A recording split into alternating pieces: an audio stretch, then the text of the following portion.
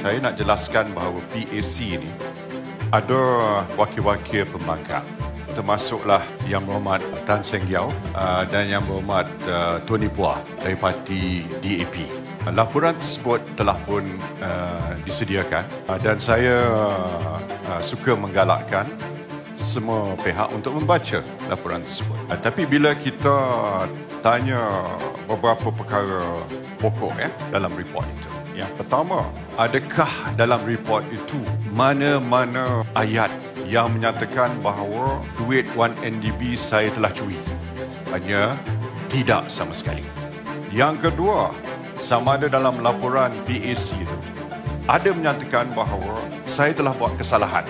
Jawapannya tidak. Ada satu lagi yang ketiga dalam laporan tersebut bahawa sama ada duit derma daripada kerajaan Saudi merupakan duit 1NDB.